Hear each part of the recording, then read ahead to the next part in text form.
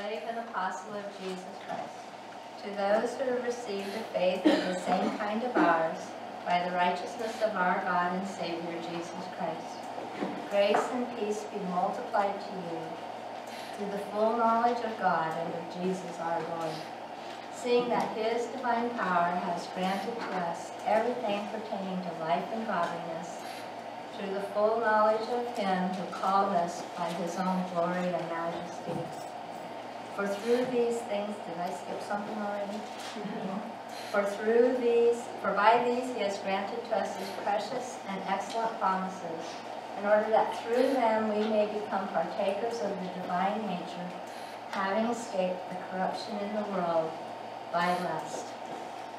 Now for this very reason also, applying all diligence, in your faith supply moral excellence, in your moral excellence supply knowledge, in your knowledge supply self-discipline, in your self-discipline supply perseverance, in your perseverance supply godliness.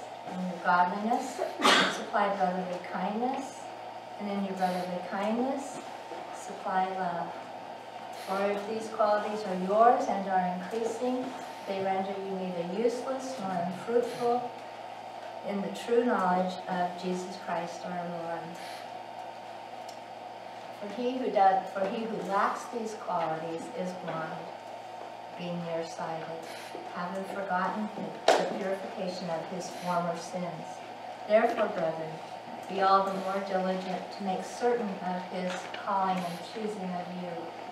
For as, long, um, for as long as you practice these things, you will never stumble. For in this way, your entrance into the eternal kingdom of our Lord and Savior, Jesus Christ, will be abundantly supplied to you. Therefore, I will always be ready to remind you of these things, even though you already know them, and have been established in the truth that is present with you. For I consider it right, as long as I am in this earthly dwelling, to stir you up by way of a reminder, knowing that the um, laying aside of my earthly dwelling is eminent, as also our Lord Jesus Christ has made known to me. And so I will also be diligent so that at any time after my departure you may be able to recall these things to mind. For we did not follow cleverly devised tales when we made known to you the power and coming of our Lord Jesus Christ, but we were eyewitnesses of his majesty. For when he received honor and glory from God the Father, such an utterance as this was made to him from the majestic glory, This is my beloved Son, in whom I am well pleased. Mm. And we ourselves heard this utterance made out from heaven when we were with him on the holy mountain. And so we have the prophetic word made more sure, to which we do well to pay attention, as a lamp shining in a dark place until the day dawns and the morning star rises in your hearts. But know this first of all, that no prophecy of Scripture is a matter of one's own interpretation. For no prophecy was ever made by the act of human will, but men, being moved by the Holy Spirit, spoke from God. But false prophets also arose among the people, just as there will also be false teachers among you, who will secretly introduce destructive heresies, even denying the master who bought them, bringing swift destruction on themselves and many will follow their sensuality, and because of them the way of truth will be maligned. And in their greed they will exploit you with false words. Their judgment from long ago is not idle, and their destruction is not asleep.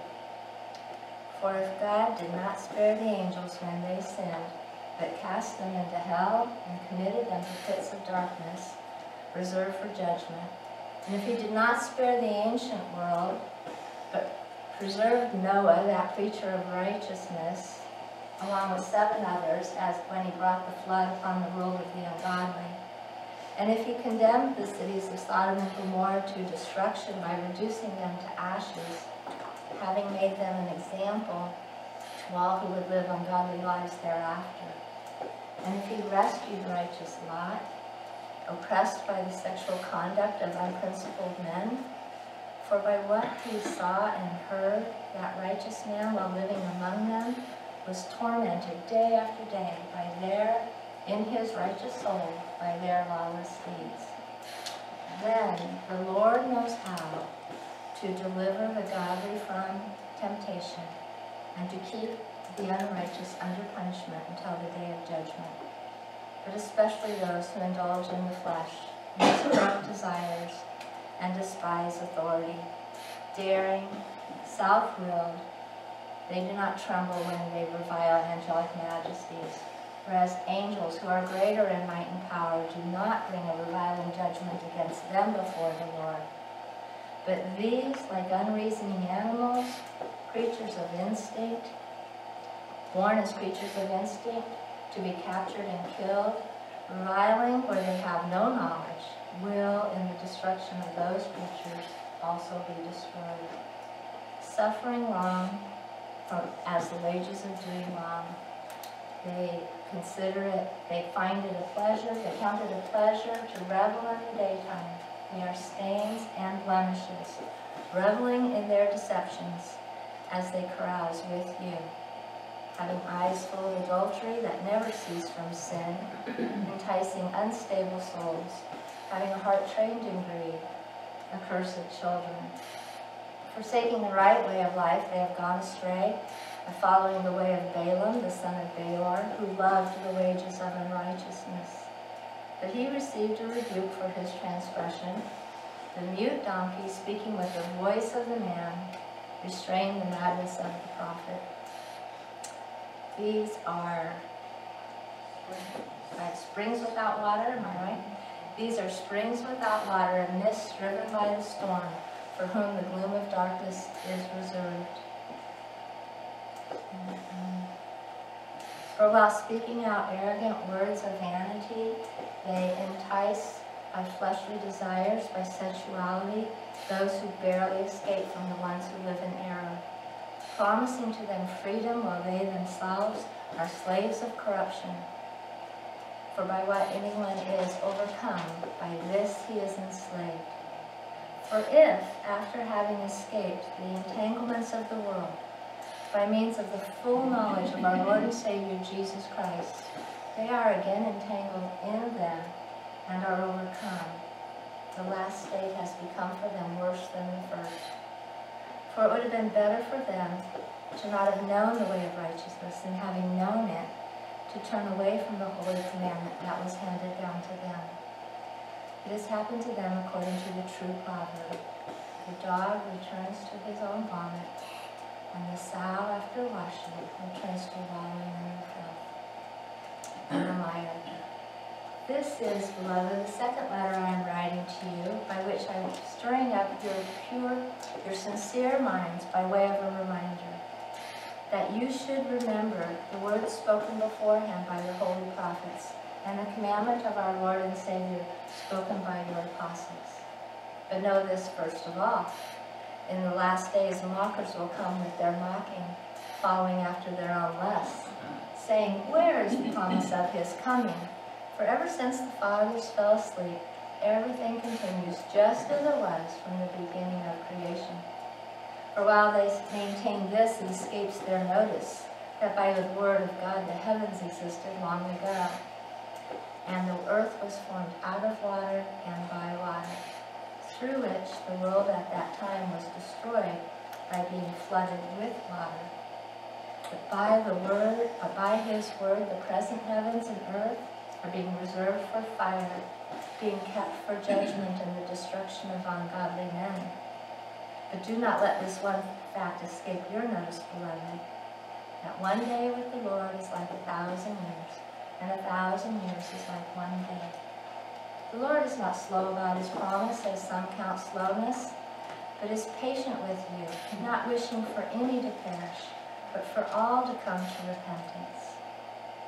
For by his word, no, let's see, but the day of the Lord will come like a thief, in which the heavens will pass away with a roar, and the elements will be destroyed by fire, and the earth and its works will be burned up. So that's Wow, you were amazing. Dear Father, thank you for this word. Thank you for the promises embedded in it. Thank you for the hope embedded in it. Thank you that your judgment and your justice is real. and we can count on you to be absolutely just and fair. But I also want to thank you for the grace that you've infused into the whole way that you work. And uh, help us to study this and to learn what this is all about today. In Jesus' name, amen. Okay, so we'll get started on that part.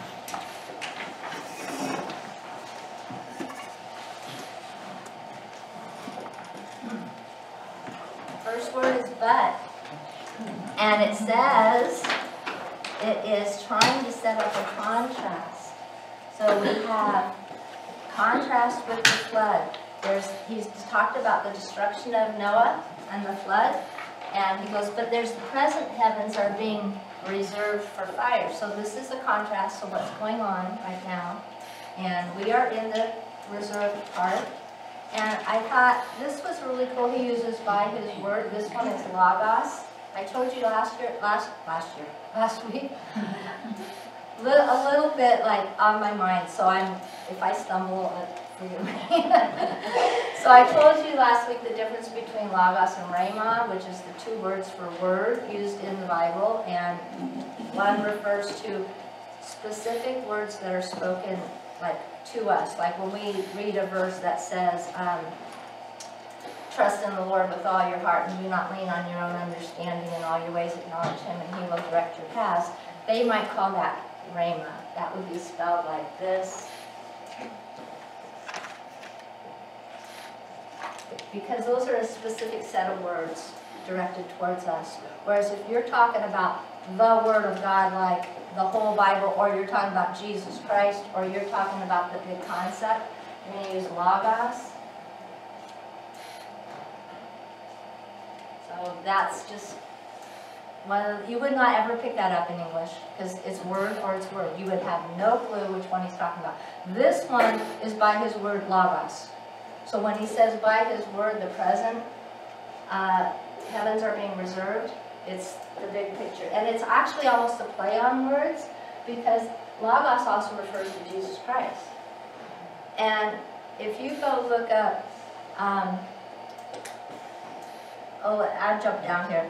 Uh, Hebrews 1 3 or Colossians 1 16 and 17, it tells us that Jesus Christ is actually the one sustaining the word, the thing. So here we have the Word of God, His actual Word that He says, but also the person of God who is sustaining it is Jesus Christ, which I thought was a really cool little picture with the words. And uh, one of the reasons why I, I, like looking at the Greek words to see which ones they are to say there. But go find Colossians 1, 1 16 and 17. Somebody read that.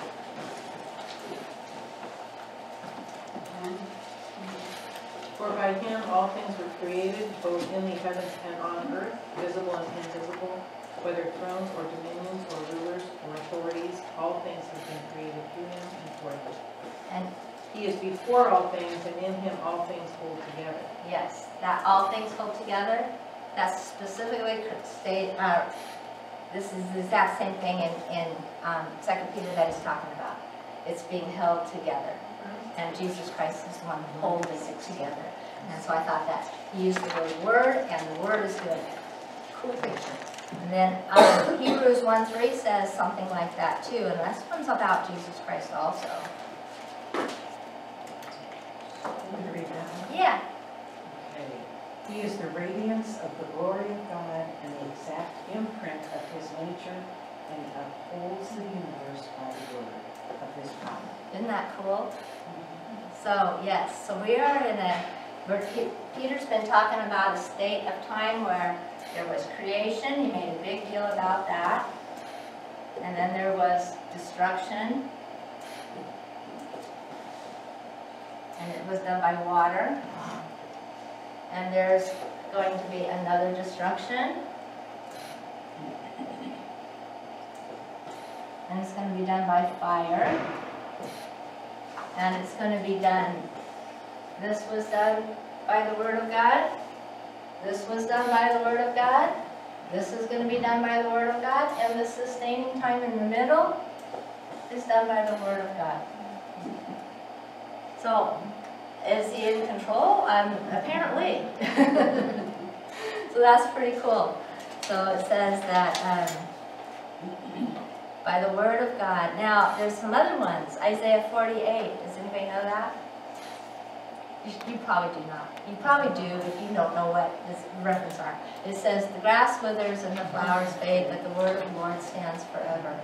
So out of all these things that are going to be destroyed, it's the Logos, the word of the Lord. Not only the Lord himself,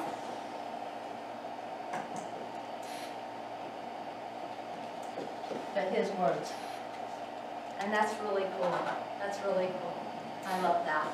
I love that his words stand forever. Peter actually is going to quote Isaiah 48 in 1 Peter, in 1 Peter 2.25. He quotes that, or he gets like, it's a very similar quote. Let's see where that is.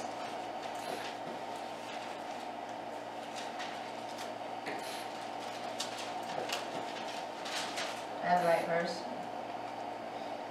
Nope. It's one twenty-four. Excuse me, wrong chapter. I just like threw that in there and I didn't check it. Is that Isaiah? No, this in First Peter, No, What's the Isaiah the Isaiah forty-eight. She's.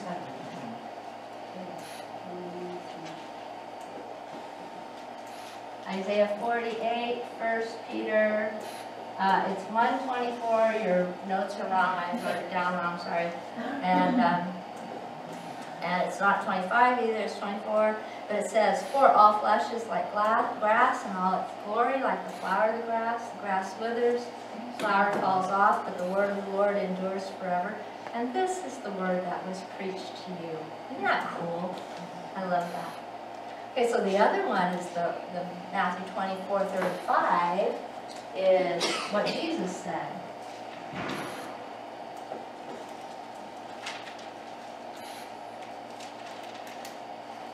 We'll probably be visiting uh, Matthew 24 several times today.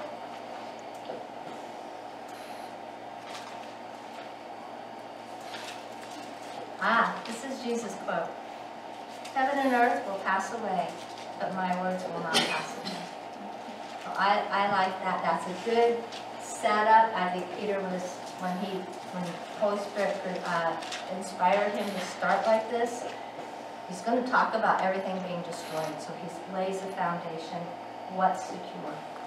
I, that's really cool. So, the present heavens are being reserved for fire. The word reserved is uh, thesaurizo.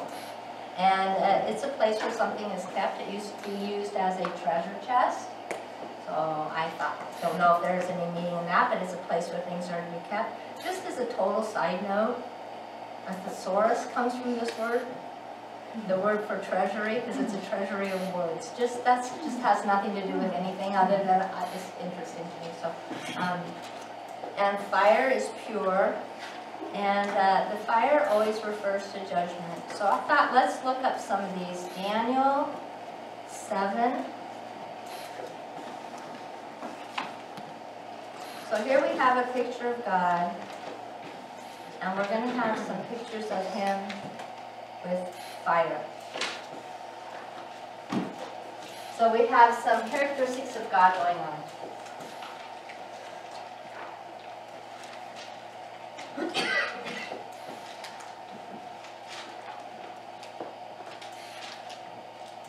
right now, we're going to see He is just. And we've just gone through this really difficult chapter two. And things have to be made right. And these people have attacked his church. These people have attacked people who, with false information. And you wonder, sometimes you go, is God going to do anything? And so this is about what, how God deals with justice. So we have justice. We're also gonna have, um, the next one coming up is patience.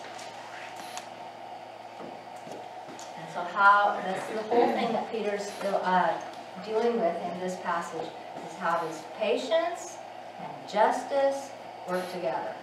Because from man's viewpoint, if you're looking at God's patience, you don't see any justice. And if you're looking at God's justice, you don't see any grace or patience at all. I mean, when people read the Old Testament and they're not paying attention to all the stuff that they're saying, they're reading, oh, and God destroyed this, and God destroyed this, and God destroyed this, and God destroyed this, and now, oh, he has no grace at all. And, but you didn't read where he said, all these times where he said, if you do this, this is going to happen, and then he waits a thousand years for it to do it. That, that's quite a bit of patience, you know. And so it's a patience and justice thing going on, and, and both are true. Both are completely true. And it's really hard if you are in the waiting stage. When is justice actually going to, when is God going to do what he says he's going to do? When's justice going to happen? How do we get through this waiting stage?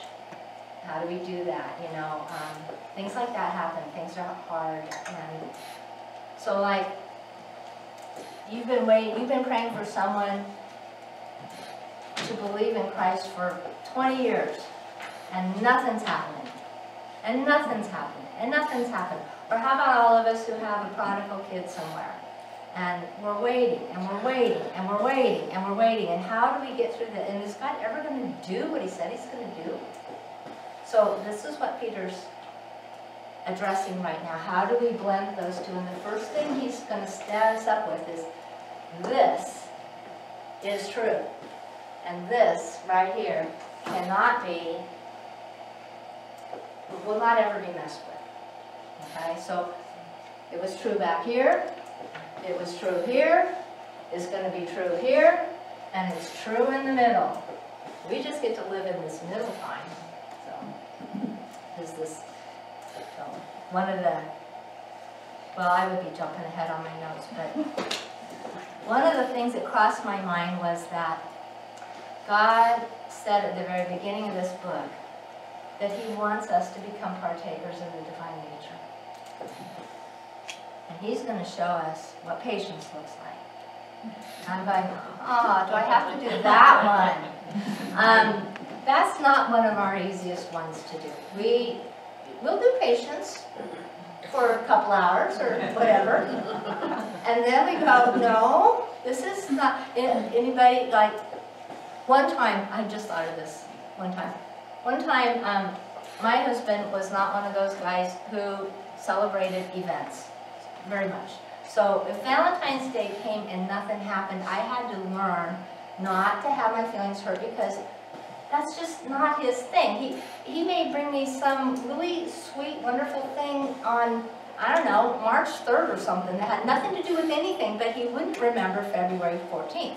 So, uh, knowing that, it was February 14th one year, one day, on about 20-something years ago, and I'm out doing something.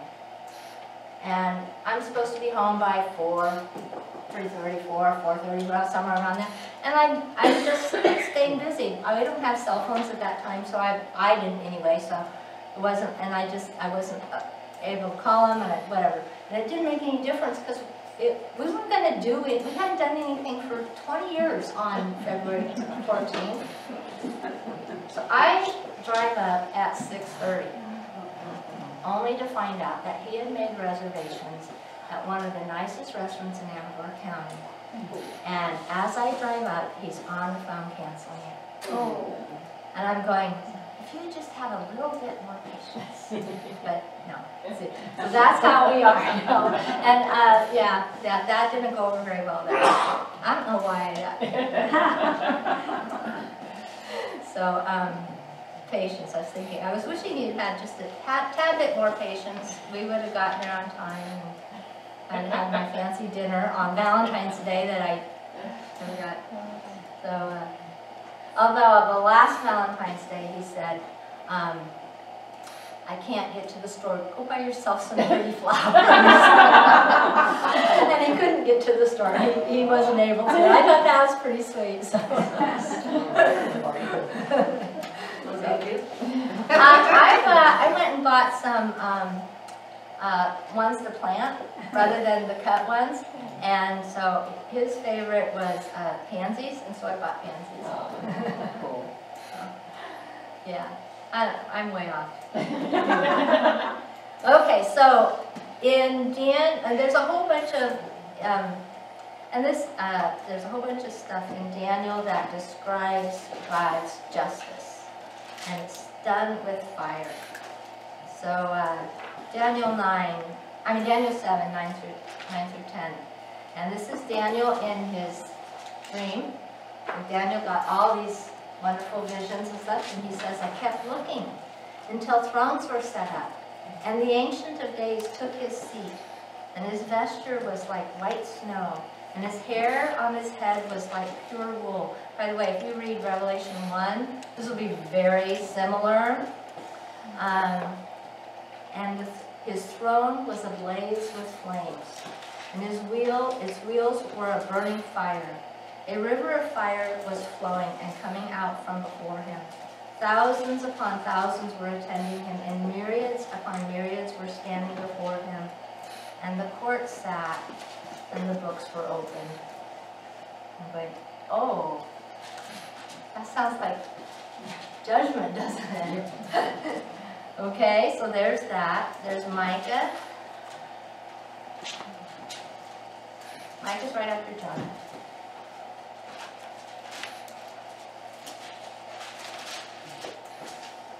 Micah 1, 3 and 4.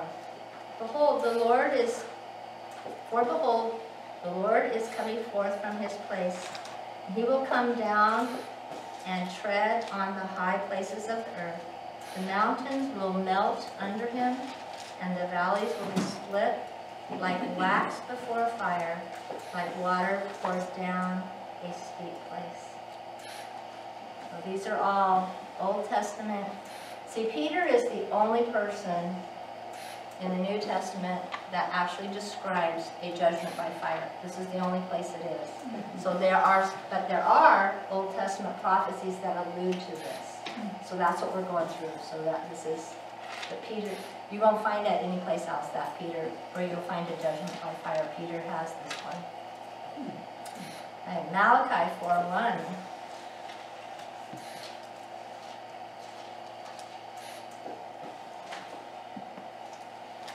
Behold, the day is coming, burning like a furnace, and all the arrogant and every evildoer will be chaff, and the day that is coming will set them ablaze, says the Lord of hosts, so that not so that it will not leave them neither root nor branch. So that sounds, as a matter of fact, if I was uh, a living in the time of Malachi and, or even during the time in between the testaments, and that was one of the last words that came from God, that would just like, I don't know, be hard. But there is the promise of Elijah right after that, so that's cool. Psalm 97.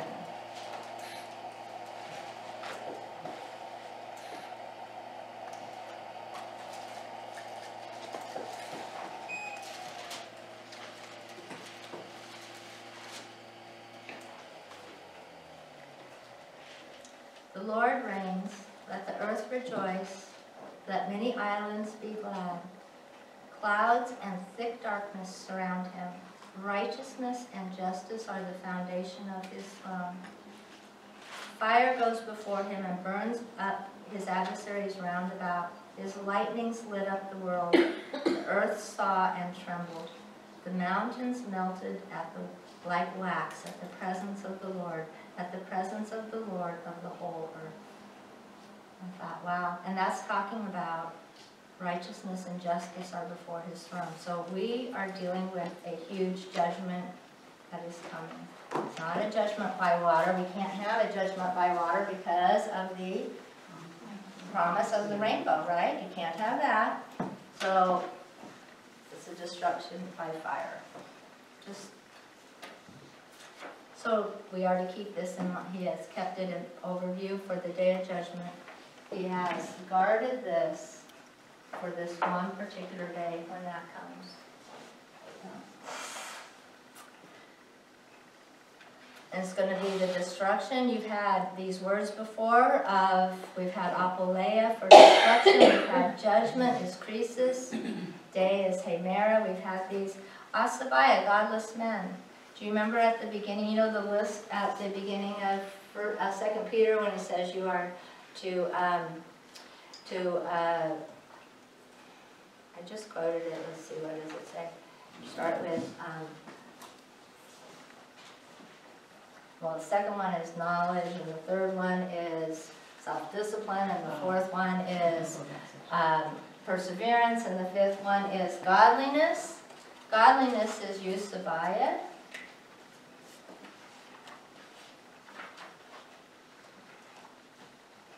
That's E U S E B I A. This means good, and this means reverence. So it's like good reverence or uh, respect for God, good high quality opinion of God, and all that. So this one, this ungodly one is ah sabaya. Ah is your negative. So this is your unrespectfulness, your unworship, your un. There's this, Peter has filled Second Peter with opposite contrasting words all the time. That's what this is, right here. We had the one, this is the other.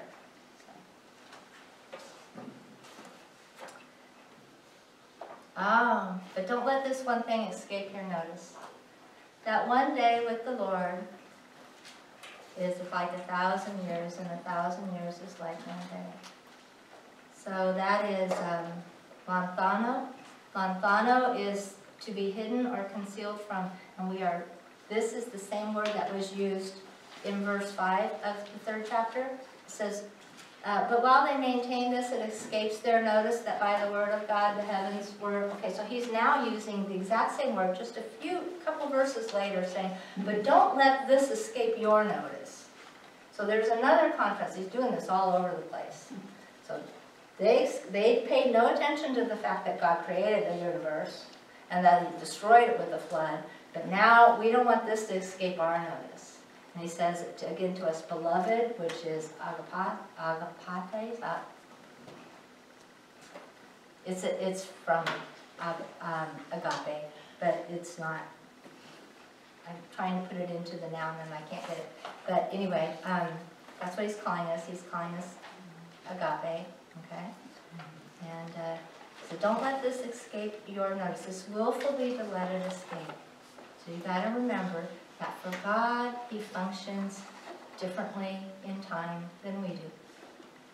We actually visualize time based on our frame of reference of time. And the reason I say this is because for me, right now, a year is a short period of time. But for little grandchildren, a year is forever because their frame of reference is what, five years, and so this is a fifth of their life. Well, for me, a year is, I don't know, a little tiny bit, you know? If you're a century old, it's just, it's a one percent of your life. So we visualize to the best that we have. If we visualize the entire length of human history, approximately 6,000 years, that's, and we think, huge. No, it's not. It's little. It's very little. As a matter of fact, God mm-hmm. can't even, God doesn't even view it like that because he doesn't even exist in his existence within the realm of time anyway. So he exists outside of time. He functions in time, but he exists outside of time. I don't even know how that works because that's, it has no beginning and, and eternity is for him I like to change the words from eternity, from inf infinity to eternity, because eternity to me, the way I visualize it is, um, I had a start, I get to live my life, I get to die, and then I get to keep living forever. And that's how I picture eternity. But it had a start for me, whereas for God it didn't. So I call it infinity, so that it had no start that way and had no start that way. And this is like, because I don't know of any single thing in my entire realm of existence that did not have a start, I cannot wrap my brain around that. I can almost wrap my brain around this. Not really, but kind of. Um, but that one, no, I can't wrap my brain around that. So, um, but he, he can. It's no big deal for him, and he says his thoughts are not our thoughts, and his thoughts are higher than our thoughts, and all that kind of stuff, and so his vision of time is higher than this. When he looks at this, a day is like a thousand years, and a thousand years is like a day, because it's not, it's not looked at in the same way. And, um, it does not mean that to God, one day is exactly a thousand years, and a thousand years is exactly one day, because there's this little word in here called host. There's two words for host. There's this host and this host. This host means that, this host means as, and this is the one that we have. And as sets up like an analogy comparison. It doesn't set up that this one day is, I've heard people actually say this, and I've used this for why the earth was created in 6,000 days, okay, or 6,000 years, all right, instead of because of the one day as a thousand years. So, so I'm, I'm reading all these stuff, this, and this one guy um, tells a joke, so I'm gonna try to tell this guy's joke. I'm not very good at jokes, so we'll see if I can pull this off. Um, an economist, you know, has a conversation with God, and he says, so, I hear that um, one day is like a thousand years. God says, well, yeah. He goes, well, if that's the case, is one penny like a million dollars? Guy says, God says, well, yeah. He goes, oh, can I have one of those pennies? And God says, oh, wait a minute. Oh,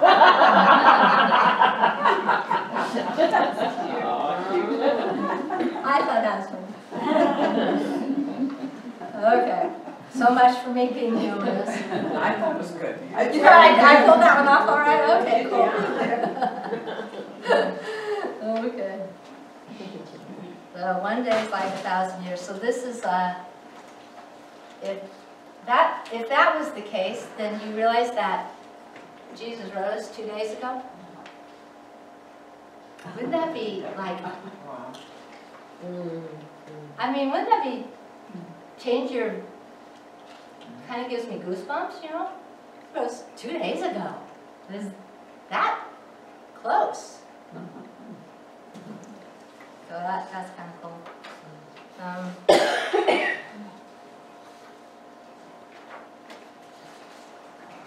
Peter's actually quoting Psalm 90. And since I was already close, or close to, for a thousand years in your sight are like yesterday when it passes by, or like as a watch in the night. That's where he gets this. That's pretty cool. That was written by Moses, by the way.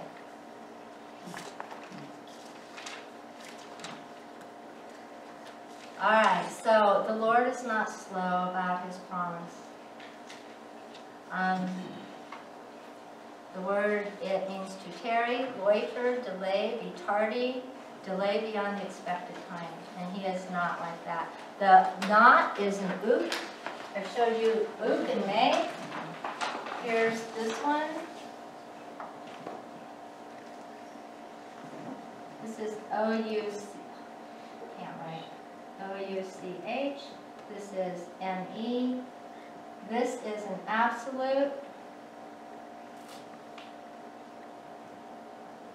Absolute no. This is like a mostly no.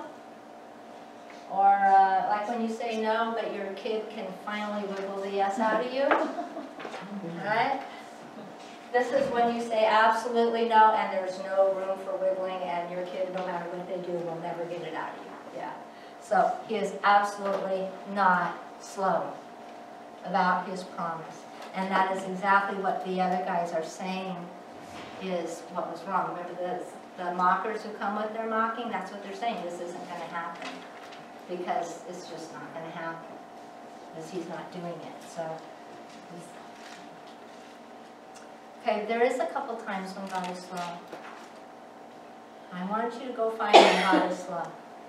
Okay, so one is in Exodus thirty-four, I think it's verses six and seven. Go, somebody go find that. I want you to see when God is slow.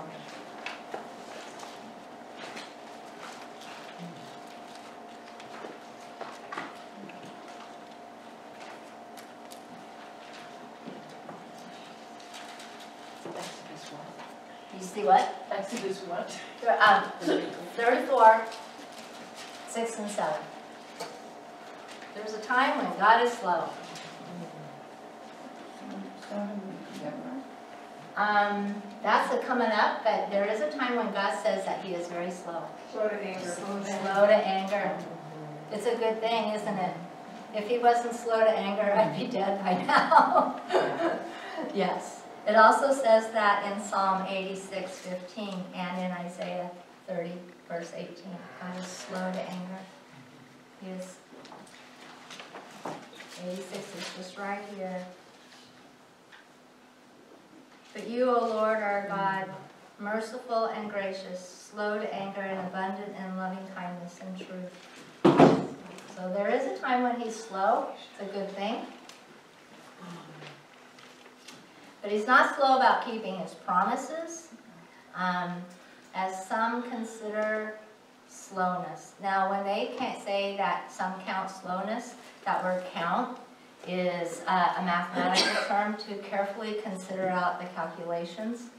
And so someone has, the, the scoffers, the mockers are like saying, I've carefully figured this out and God is not, he is slow, he's not gonna do it. Sound, sounds to me like, um, like uh, the uh, evolutionists who say they have so carefully figured everything out and have put their brains to it and done massive amounts of study in a whole category that doesn't even work to start with, which is, it's sad that their brains have spent that much time on that kind of stuff.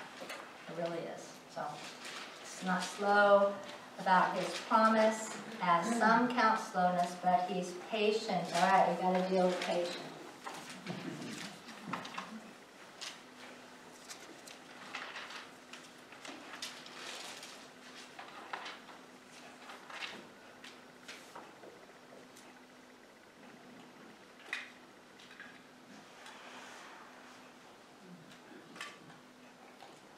I think I did that right. M A K R O T H U N I A, makrothumia, and it means patience. It means long suffering. It means, what all do I have on here? You have a very long fuse. You are slow to anger, slow to punish. You have self-restraint in the midst of provocation. That's that's all these things are in slow to retaliate. That's all within this word that God has. And I can find, if you just think out your stories of the Old Testament, you can find times when he's every one of those. He's slow to retaliate. He's patient in provocation. He's, I mean, how many times did they put idols right where the temple, um, um, right in the temple? They put, I, they would take out the altar of sacrifice and put the idol in there. They actually moved it. And I, and God, and he didn't send down fire from heaven and just blow them up, you know? Yeah. That's a description, by the way, of what the abomination of desolation is supposed to be. Is where that some, when the, uh, I'm jumping into, uh, Steve's eschatology class. And, uh, but it's when they, it's when the Antichrist or whoever is doing this, or his prophet or the, the, uh, the, the guys that are working together, take the, a statue that's an idol and put it inside the Holy of Holies, where the Ark of the Covenant should be. And that's called the abomination of desolation. And that's not a good thing. That's really, really, really not a good thing. Yeah. That's not in today's study, that's just me going off. So, um, there's a lot of times when God was very patient. Um, he was patient for 120 years while the ark was being constructed.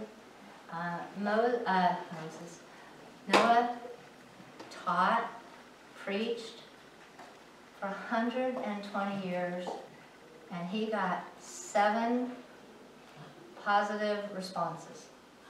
Somebody figured that out, and that was about like one for every 18.3.759 years of preaching. Talk about discouraging.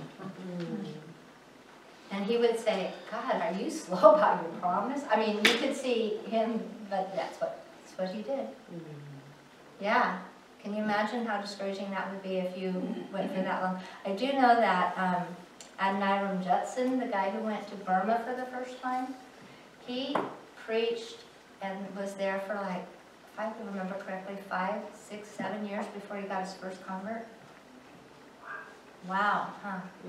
Yeah, yeah, and uh, he remained faithful with that. That's quite a, quite a story there. And so, um, another time, God was very patient with Sodom and Gomorrah. I mean, can you imagine sitting there and listening to Abraham in, intercede? And how patient did God have to be when Abraham goes through the numbers? Okay, God, if there's 50, okay, I won't do it for 50. And you know, God knows that he's going to say 45 next. And then he knows he's going to say 40. He could have just jumped to it and said, Abraham, I won't do it for 10. You know, that would have been, but he didn't. He let Abraham go through all those little steps, which is really, really nice. How many times have I gone to God and said, okay, well, you know, and brought all these silly prayers, and he's gone, okay, Debbie, we can't do that. We can't do that because you're not looking to what I'm seeing, you know. There, I did hear this story recently about a lady who, um, she's all in her thirties. She gets this horrible, horrible indigestion. She gets such horrible pain in her lower abdomen that she has to be hospitalized. When she gets in there, they can't quite figure it out. She's in there for a day, for seven days, this intensive, horrible, she's praying that God will either kill her or take her, take her home or take it away, one of the two. And after the seven days, the surgeon comes in and he goes, I am so glad you've had all this pain. He goes, because if you hadn't had all this pain, we wouldn't have figured this out. And her colon had actually just come loose from her body. So, and she says later, she goes, I think God was in tears, um, having to say no to her prayers. So that those doctors could find that solution. And she, her, her viewpoint on it afterwards was so sweet and so gracious. I thought, I wonder if I would have even been able to look at it from that viewpoint afterwards. Like, I would have said, God, why don't you do something to this sooner, you know? But here she did it like that. She goes, I think God was just in tears having to say no to my prayers while I was, while this was getting figured out. Uh, What a divine viewpoint she took on that. So That was really cool. So, yeah, he's, that's his patience. And uh, there's another time when he waited really patiently, and that was when he was giving the Abrahamic covenant to Abraham. And part of that covenant is, you're gonna get, there's three main parts to that covenant. You're gonna get, have a huge giant family, which would have sounded like a joke to Abraham at the time since he's 90 years old or whatever, and he's not had any kids, and you're gonna have so many kids that you can't even count the stars of the sky or the sand. And I'm thinking, okay, God, that sounds interesting. and then he's also going to have the land. He's gonna get the land. He's living on the land at the time. And he's also gonna get, um, one of those descendants is gonna bless the entire world, all the families of the world. He doesn't know what that means particularly. Maybe he knows more about it when it comes a little while later, when he has to deal with Isaac on the altar. he probably gets a bigger picture of what's going on. But the one in the middle, the land, he, he's living on the land, and God says, I will give you this land in four hundred years. Well, I'm right here, why don't you just like give me the land right now, I'm, I'm here. He goes, I'll give you this land in four hundred years. And he goes, because the sin of the Amorites not complete yet. This is a huge piece of patience towards those people. So I'm sure there's other ones, but those are the three that came to mind. Um, yeah.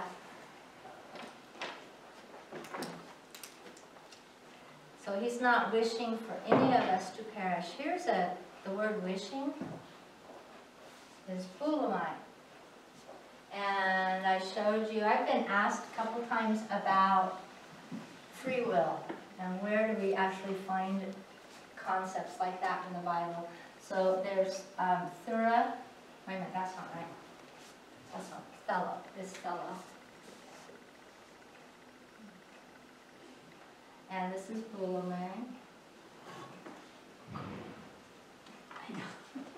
Okay, this is T, oops, H E L O, and this is B O U L O M A I. Now, uh, the reason I'm going to go into this is because this verse has been used for, since God is not willing that any should perish, for the um, teaching of universal salvation. Has anybody heard that? No?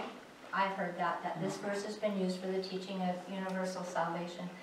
Um, the only way you can make that happen is to take it out of context because what's just like two verses before, it says that he's going to destroy ungodly men. He's going to judge the ungodly men. Um, so when that was in what, verse five, six, seven? The destruction of ungodly men. So if he's going to have a destruction of ungodly men, then he's not saving everybody. But he's not willing that any should perish. So how do you deal with this, right? He's not willing. So uh, this is the word, he is not willing for any to perish. This is in um, our verse 9 here. And we had this one last week, fellow. And so this one is your deep desire. The deep desire of your heart, your will, what you want, your wish, everything you wish, everything you want, that's your boulomai. The decisions that you actually make are your thelo. So there's a difference between these two. This one is translated willing. This one is translated willing.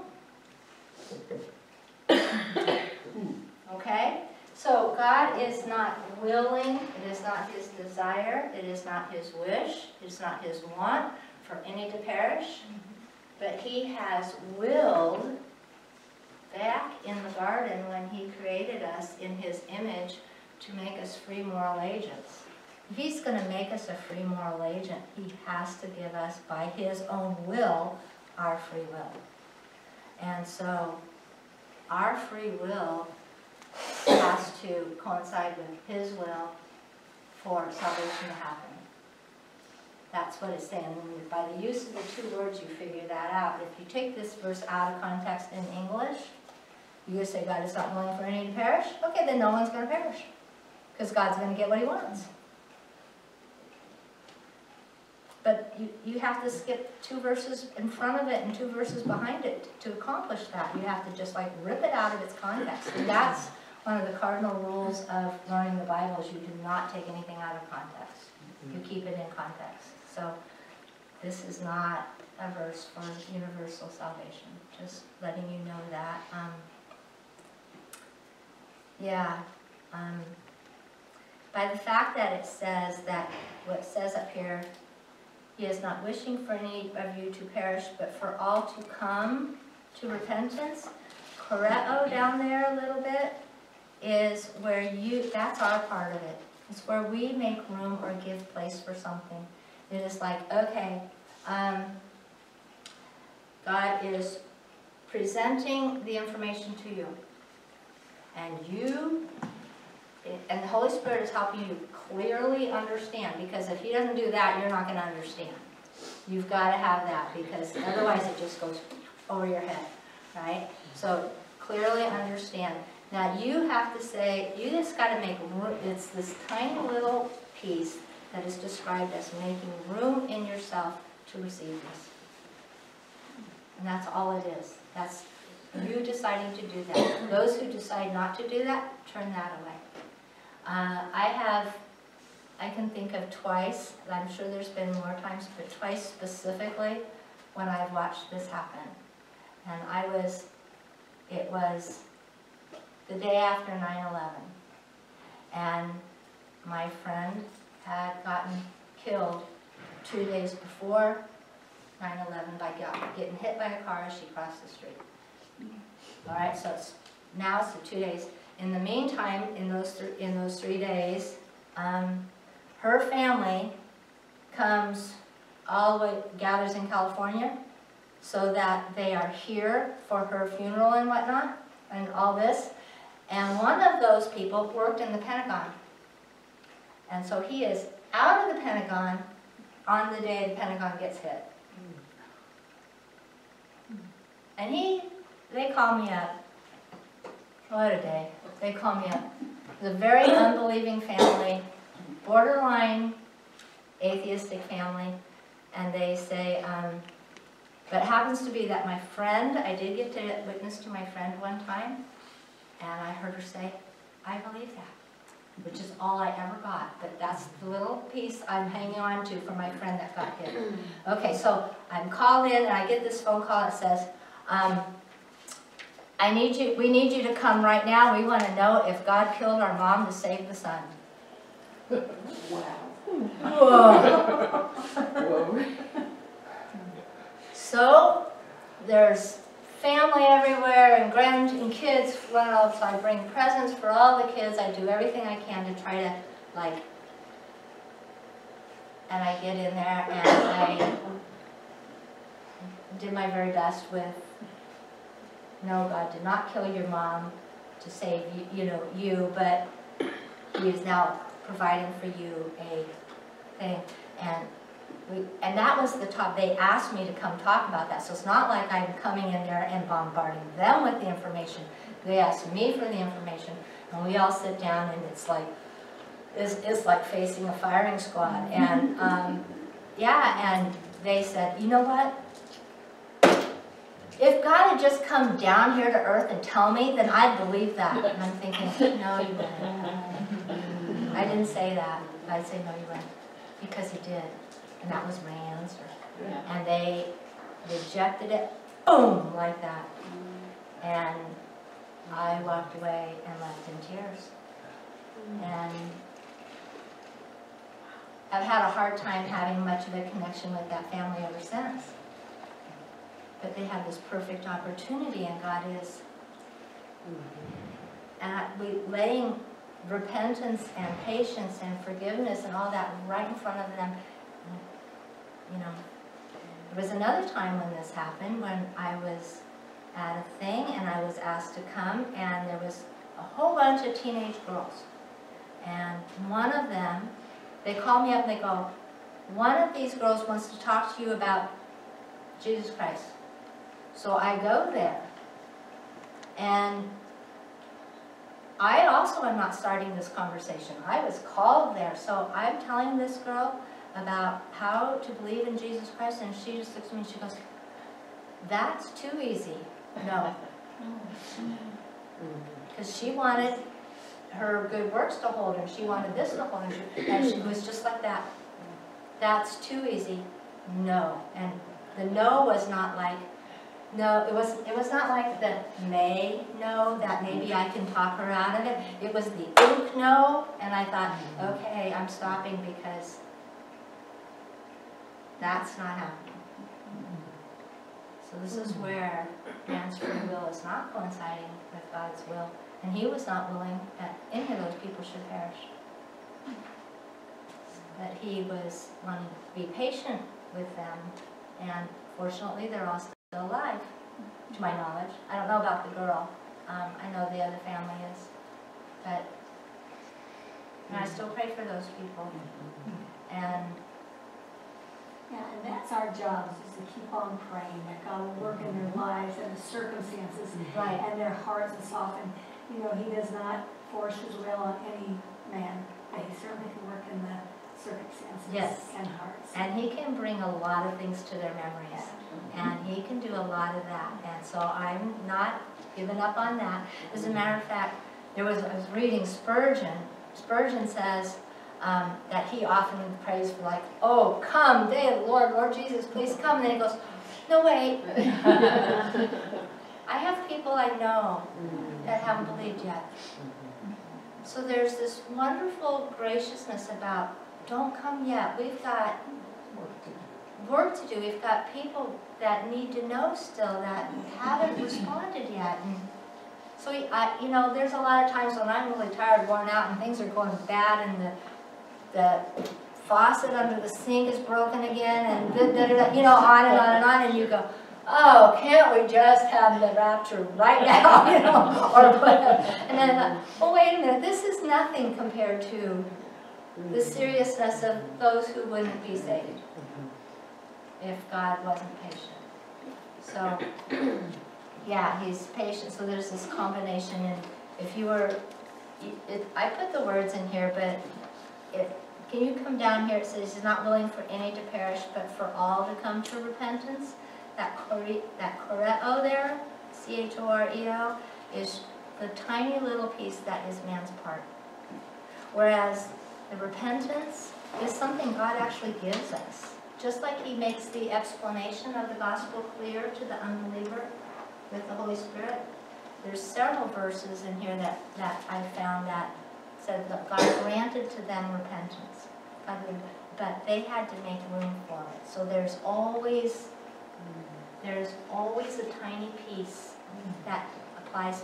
The piece is so tiny, there's no merit in it because um, by grace you have been saved through faith, not of yourselves. It is a gift of God. So the faith is somewhat of a, is a gift. Repentance is a gift. The fact that you even understand the gospel when it is said to you because it doesn't make sense to the human mind, that's a gift. But there's this tiny piece that says, did you make room for that? And that's our only, that's, that's the, t- that piece right there decides whether a person goes to hell or not. And God has done this huge part, and there's this tiny little speck, and then he said, no, I don't have room for that. Which breaks my heart, you know? And I'm sure it does God's. Mm-hmm. I'm sure it breaks his heart. Because he is not his boulomai. His deepest desires are no one should perish. But he is also this. He's justice. So he has to. He has to. And let's go look up, uh, it's in Ezekiel. Ezekiel eighteen twenty-three. This is, Ezekiel is written when God has had to seriously discipline his people.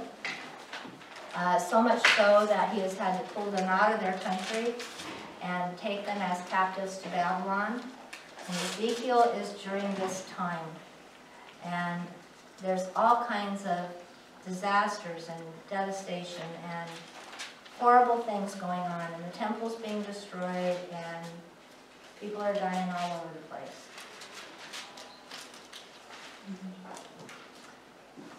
Say it again. It's Ezekiel eighteen twenty-three. And in the midst of this, he says, Do I have any pleasure in the death of the wicked?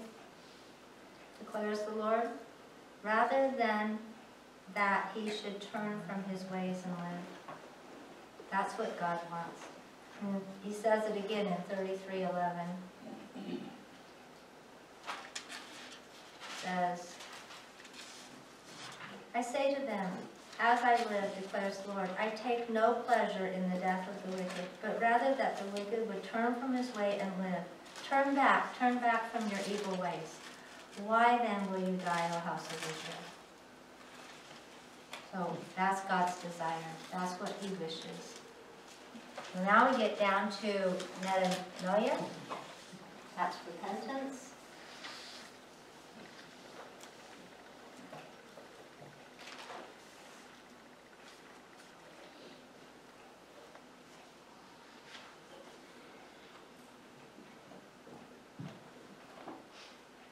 Metanoia. Metanoia is a word that is actually, if you were to translate it into an army um, um, book of instructions, it, it would be about face. It means to change your mind and turn about face. You're going this way, you're supposed to do whatever this fancy thing is with your feet and do this, right? It's an about face, and I don't know, I've never been there, so I don't know what the fancy thing with your feet is, but they have these special movements and they go boom, like that. And that's what this is. It means to change your mind, it means to turn around, it applies to every part of you, it applies to your heart, your attitude, your understanding, your direction in life. This is what the word repent means. Repent means to turn around. So there's this huge difference between repent and regret. You can, people, let's say, we're all sinners. Sinners regret that they've sinned. Why do they regret that they sinned? Because they got caught. Or they're suffering the consequences of they got caught. That's not repentance. Repentance is when you change your mind and go the opposite direction. So here's an example. Judas regretted what he did.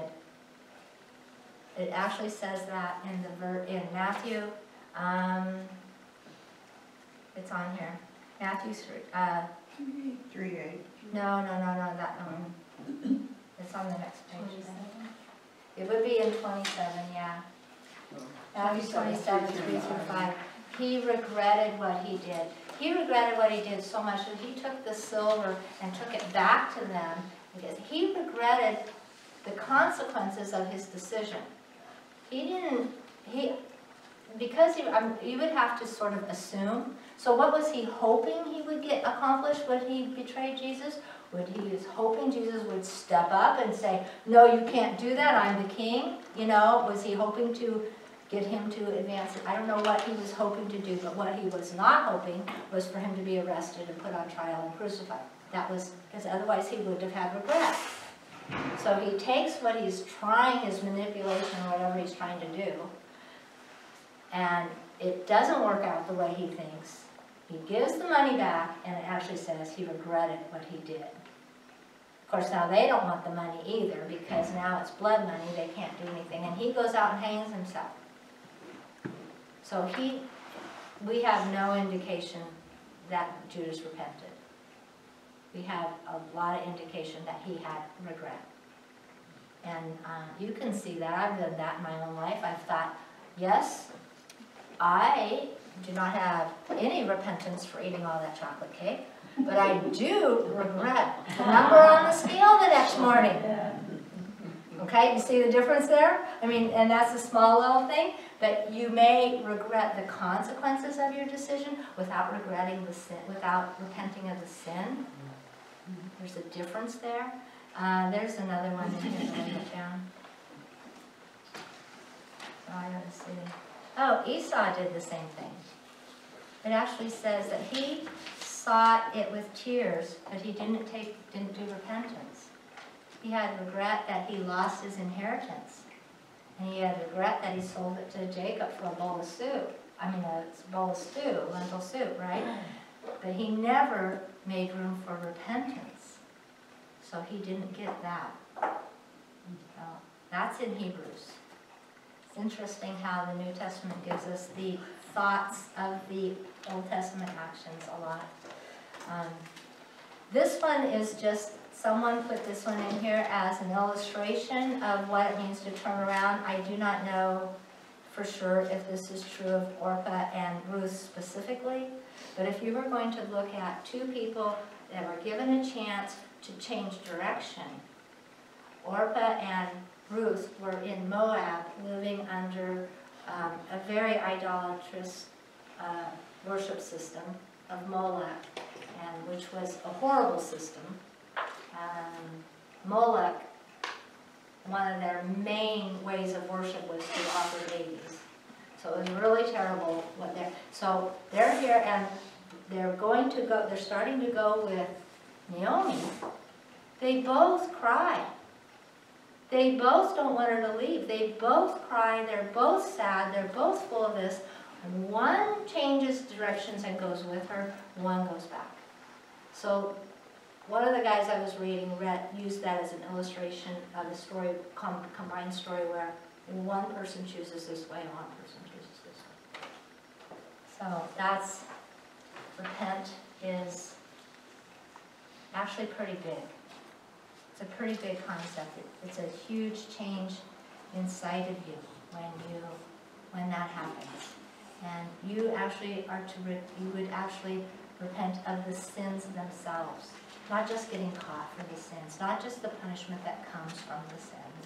You know, like, if you walk through death row, how many of those guys are regret that they got caught versus how many of them regret that they even did it in the first place? There's a difference there. There's probably, for all those who actually regret that they did it, that's the wonderful job of the prison ministries. They have an opportunity to reach these men. They, those men may stay there for the rest of their lives because they need to, because of what they did. But if they actually regret that they did it, if they actually have a repentance that they did it, they have a huge opportunity to be saved that they may not have on the outside because they may not have ever faced it. But on the other hand, if they're just in there mad because they got caught, and if they ever get out, they're going to take revenge on the cop who threw, threw them in there, then they are not at all close to repentance. So you guys see the difference there? Mm-hmm. There's a huge difference there. Yeah. So, no, the Lord is not slow about his promise, as some count slowness, but is patient towards you. I'm really glad he's patient towards me. Just really glad he's patient towards me. Not willing that any should perish, but for all to come to repentance.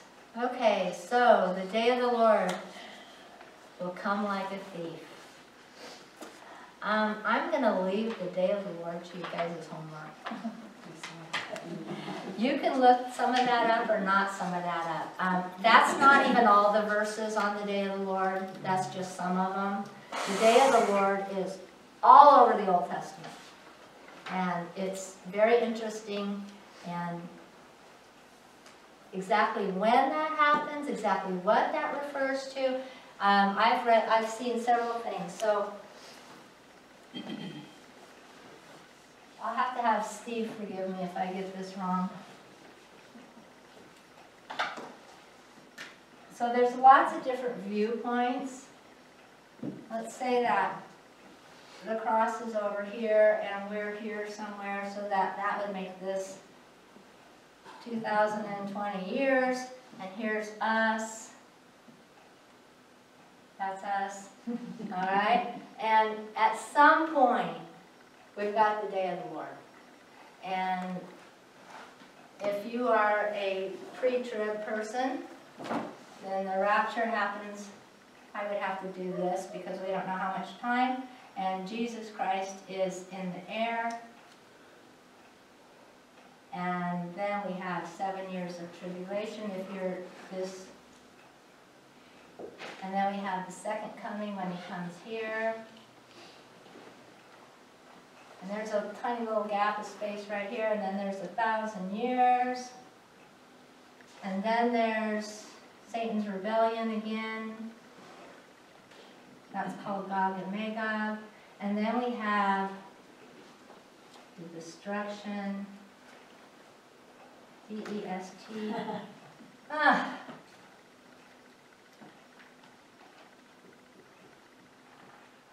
And heaven earth.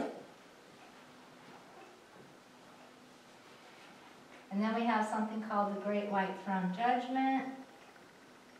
And then we have eternity. Now, there's lots of viewpoints. Lots of people think that this is happening here and not here. And lots of people think it's happening there and not there. And some people think this is allegorical and not specific. And so I'm not trying to play that out, I'm just trying to, okay, so some people say this is the day of the Lord.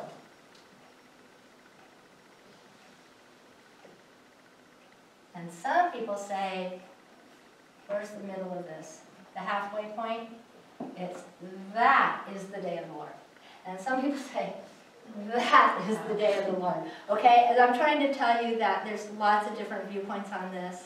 And um, I happen to uh, be, does anybody remember um, the uh, movie called um, A Thief in the Night, opened up in 1973?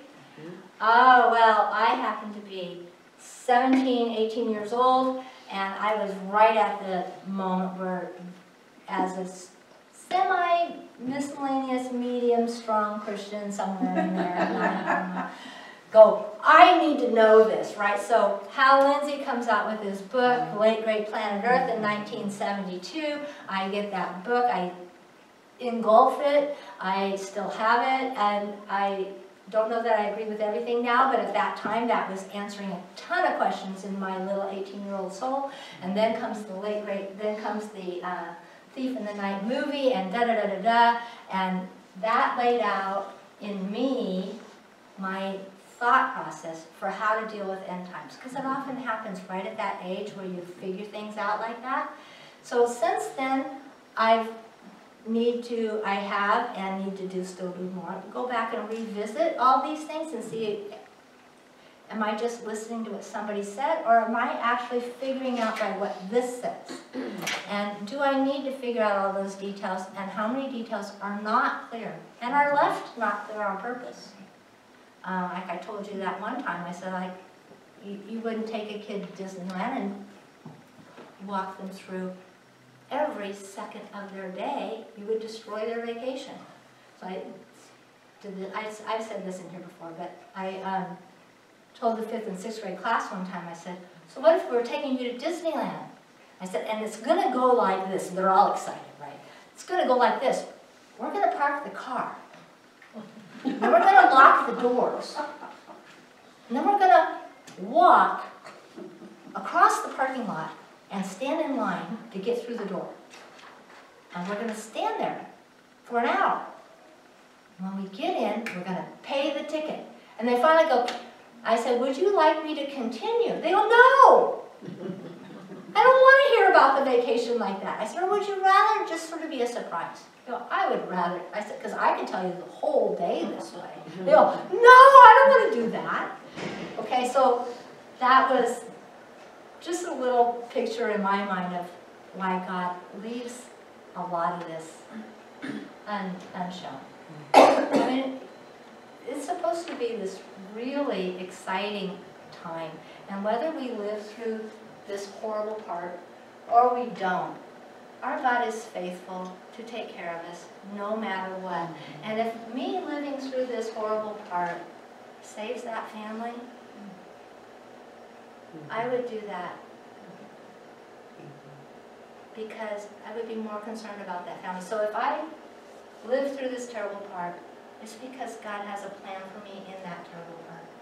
So I'd rather not, just saying, I'd rather just be like that. But if that's not the way it is, okay. I have to put my trust in the one who knows what he's doing. So, I'm, all that stuff about the day of the Lord, you get to read all that, if you want to, okay? Thought, that's as much as I thought I'd better go into, till I listen to what Steve has to say. In which the heavens will pass away with a roar. That word for roar is, and I don't know how to say this, onomatopoetic. Um, it's in, in Greek, the name of the word sounds like what's happening. okay? So if you're gonna describe, and their, their examples are, it's like a whizzing, like a arrow goes by, that sounds like a whiz. It sounds like a crash when the waves crash over the rocks, you know, the word itself sounds like what's happening. So the elements, the word for elements is ones in a row, and I know they haven't developed the uh, table of elements yet, but that's what the word is actually describing. It's actually describing what's going to be destroyed. God's going to destroy the entire universe and its table of elements, and it's referring to atoms, molecules, um, scientific things, parts of matter. Yes. And it will be destroyed with intense heat, and the earth, and here's what is interesting, and its works will be burned up. All the things done on the earth that are just earthly are going to be destroyed, including Disneyland. Oh. Right? Yeah, so, um, that's someday, that's the one coming. I am really glad that I am protected from that, saved from that. Um, I have heard all kinds of theories as what's gonna happen, where we will be during that time when that happens. Not sure that that's, it's just theories of what we will be. One person thought that when he destroys, because it also talks about it in Revelation, he destroys the planet, destroys the universe, and he creates a new one. And we are outside the realm of that at the time, this is one person's opinion. We actually get to watch creation. I mean, I'm hoping I get to watch creation. Wouldn't that be cool? Everybody wanted to see how that happened. I want to see how that happens. I'd like to watch creation. I- I'm hoping I get to see how the new heavens and the new earth are made. Okay, any questions? What do you not question? Yeah.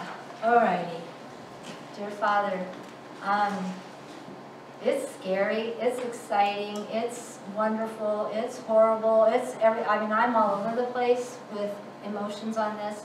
I am really glad that you desire that none shall perish. But I'm also really glad and thankful that you gave us free will so I could respond. Um, I, I'm grateful that I'm not a puppet. I'm grateful that you gave me a choice and that I can choose to love you just from my own tiny little speck of making room for you in my heart.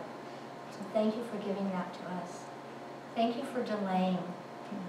Um, each of us have people and loved ones that need to find you. We ask that you search for them more, search for them stronger during this time of your patience, and bring them closer to you. And um, thank you that you left so much of it exciting and unexplained, so that we can look forward to this with this great adventure ahead of us. Thank you for Second Peter. In Jesus' name, amen.